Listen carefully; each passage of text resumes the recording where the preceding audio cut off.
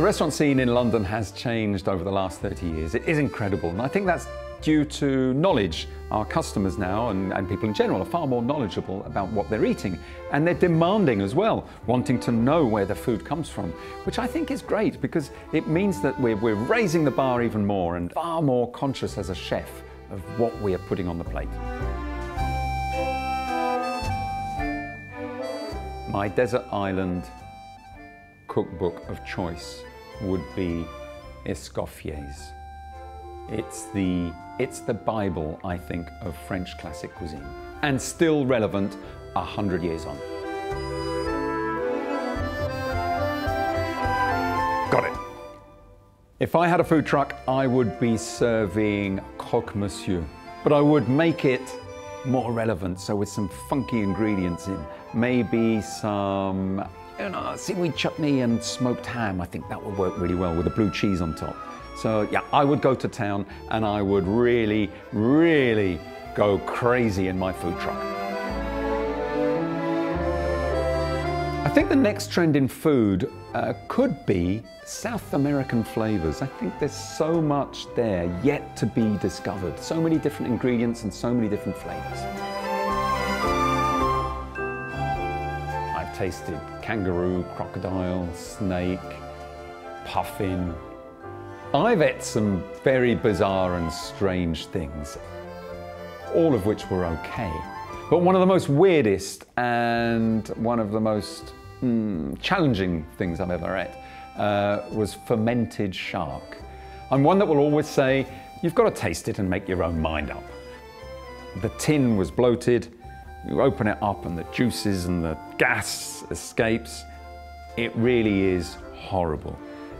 Even with copious amounts of aquavit, it was a challenge.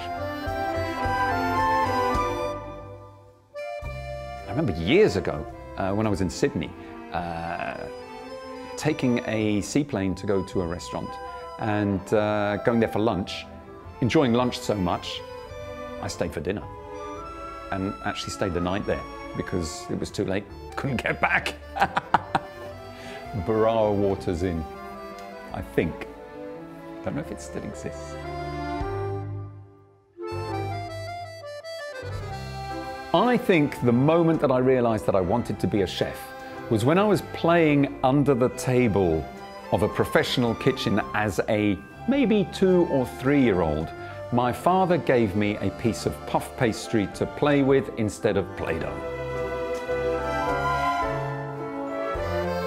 I've always wanted to be a chef, ever since I was a, you know, a young, young boy. Nothing, can't think of ever doing anything else other than I do really love long distance running. I love it with a passion. So maybe in another life, I'd give Mo Farah a run for his money. I think the only ingredient that I could not do without would be quality salt, whether it's rock salt or sea salt, just quality salt. It's very difficult to buy a good kouign-amann in London uh, because it's actually quite difficult to make. It, it's, a, it's a really tricky technique. Um, but there are a couple of places that sell them.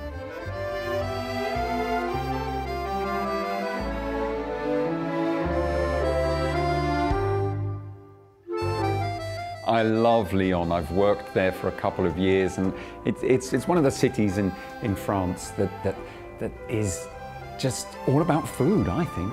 There is one restaurant at the moment that is the place to go and eat in Lyon, and I will never be able to get a table there again if I tell you. But I will tell you, it's Monsieur P. Go there. It's amazing. My earliest travel memory with my family uh, was definitely uh, going to Scotland. And I was probably around eight, nine at the time. And I remember how it was so, so cold.